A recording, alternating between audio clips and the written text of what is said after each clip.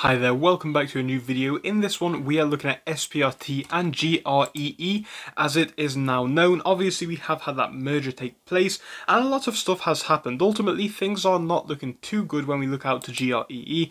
The shares have apparently fallen about 50% on the debut trading day, and again, that can be seen as a very negative thing. I want to give a few of my personal thoughts and opinions as to why this is happening in this video. Make sure to leave a like and subscribe, but do remember, guys, this is is not financial advice. In this video, I'm just going to be sharing my opinion on what is happening. I'm not going to tell you what I think could happen in the future in too much detail because I think it is very, very hard to say. I think this is one of those instances where people really need to look, do their own research and come to their own conclusions and opinions as to what they want to do. But again, I just want to share a few of my personal opinions on what is going on right now in this video. So first things first, we'll start off by looking at how the charts have been moving. When looking at SPRT stock in the past past few days, we can see the data that we have on the one day, the five day, and out to the one month, and then we'll look over to the data that we have for GREE.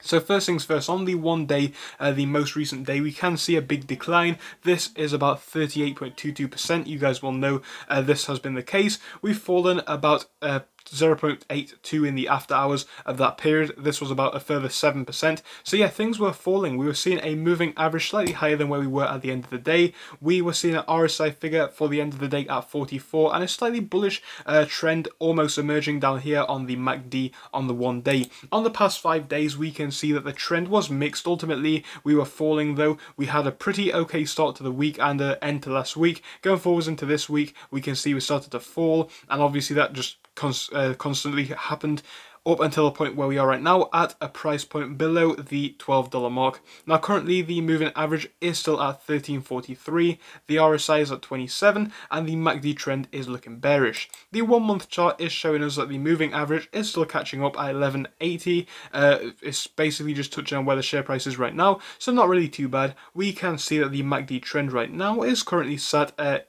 coming towards the bearish side. It was bullish as we had this rise in price, but now it is coming down a bit. Those lines are crossing over, and the RSI is at 44. And now we're going to quickly do that look on GREE stock. So we will type in GREE and look at how the price has been moving. So as I did explain just a few moments ago, things aren't looking too good for this stock most recently. You know, we have been seeing a fall in price, and a lot of people are confused as to what is going on with this stock. Well, we spoke about the merger here with this stock in the past and what this could mean for the company. Some may see it as a catalyst long term. Some people who look to this as a short term trade may be a bit confused right now because, you know, they just don't know what is really going on. And that does make sense. You know, there isn't really too much data uh, regarding this stock right now because we just don't necessarily know what's going well we just don't necessarily have that data yet and subsequently a lot of people are confused and scared and a lot of people are exiting their positions in my opinion based on what I have been seeing. A lot of people are seeing that they are down massively on the stock and are choosing to exit their positions so let me talk about what I think is happening and why we are seeing that decrease in price. So ultimately, as I mentioned just a second ago, a lot of people do appear to be selling. The reason why I think this is is because when we first looked at SPRT, this was not really a fundamental play. You guys will know that is the case. We did have the potential of seeing more and more rises in the future. But right now, things have been thrown up in the air a bit. We all knew that this merger was going to take place from the date that it was voted uh, positively upon. Despite this, I think it has left a lot of people confused as they don't necessarily know the exact things that they may want to know. Things like short interest, you know, if people are still short in the stock, and when shorts will cover and that sort of thing. Now, again, we don't really have the data from this as of yet. This stock hasn't really been trading for too long, as you guys will know. So it really is hard to distinguish what what that data is. But I think, yeah, a lot of people definitely got quite confused and chose to exit their positions. Again, a lot of people bought the highs of the stock and are now down quite a bit. I don't want to talk about what I think could happen with this company uh, in the short term. I think long term, now the company does have some decent fundamentals, but Initially, this wasn't really a fundamentals play, as you guys will know. A lot of people thought this was a short squeeze play, and Studio, Studio believe there is a short squeeze play. Now, I'm not saying that it isn't or is, but I'm just saying, guys, that is what I think is going on right now. Again, going forwards into the future, I would love to continue giving you guys updates, but please tell me what you guys are doing in the comment section, because I would really want to know. Again, I just want to tell you guys what has happened in the past day or so. Thank you for watching. I'll see you soon. Thank you for watching through till the end, but let me tell you about our Discord. So on your screen you will be seeing the N2S Finance Discord.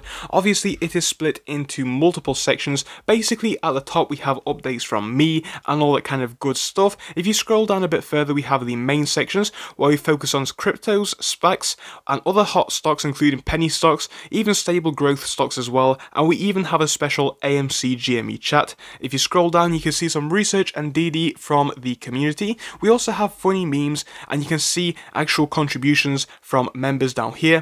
And again, if you do join us, it is completely free, link is down below. But if you do want to become a Patreon, you will actually get a pink uh, sticker which will be displayed on your name. So your name will come up in pink as mine comes up in red down here, and that will show that you are a Patreon. But other than that, guys, you can join completely for free down below. You do not have to pay anything if you do not want to. Thank you for watching. See you soon.